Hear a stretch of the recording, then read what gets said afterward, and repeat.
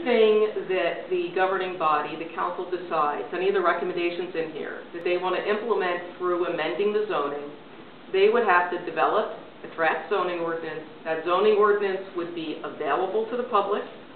Uh, There would be public hearing on it. Okay, you would have an opportunity to comment on any of those changes It would be to referred to to us. zoning districts. It would even, you could even comment for the planning board and the council, so there are multiple opportunities for input. So nothing gets changed in your zoning parameters without that procedure being followed.